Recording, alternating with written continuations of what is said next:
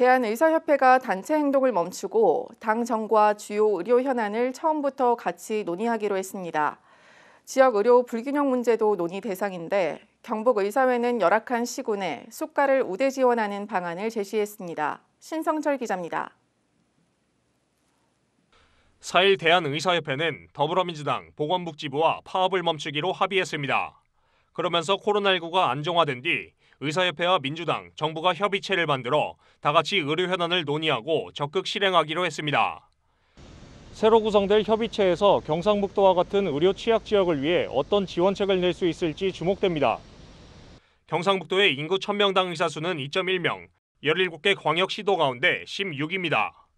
255개 시군별로는 군의군과 7국군의 1000명당 의사 수가 1.3명으로 전국에서 네 번째로 적은 것으로 나타났고 이 밖에도 김천시와 상주시를 포함한 11개 시군이 하위 10위권 안에 들어 있습니다. 경상북도 의사회는 경북 안에서의 의료격차 문제에 공감하면서도 합의 이전 정부의 계획은 실현 가능성이 부족해 반대했다고 밝혔습니다.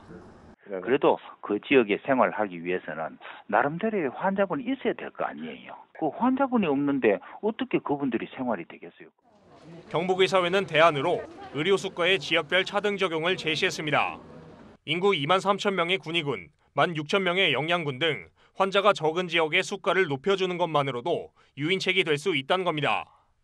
청송 봉화에 그 산모도 적을 뿐더러 인구도 적고 할 경우에 하루에 한 서너 명이 온다. 이럴 경우는 나머지 평균 수가 뭐 예를 들어가 한 스무 몇 명에 대한 거는 지자체에서 보충을 하는 것이 좋죠. 그러면은 그 어, 의사 선생님이 왜 청송 봉화에 오지 않을까요? 충분히 옵니다.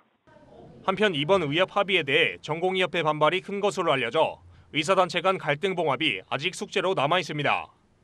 ACCN 뉴스 신성철입니다.